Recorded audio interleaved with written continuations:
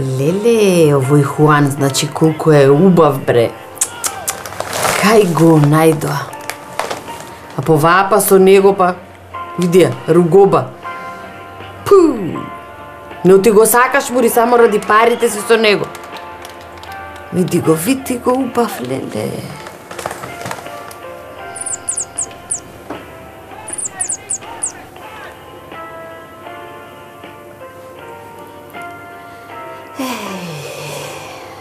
Убај. Многу е убав.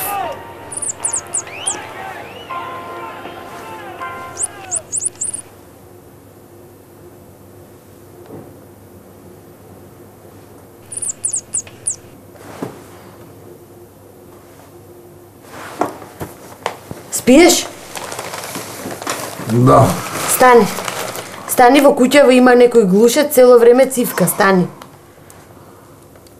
Аха. Добро. Стани, еве пак пак цивка, ама стани во куќава има глушец. Стани затоа што цело време цивка. Добро, жено, што да правам? Да го подмачкам? Што да направам? Бре.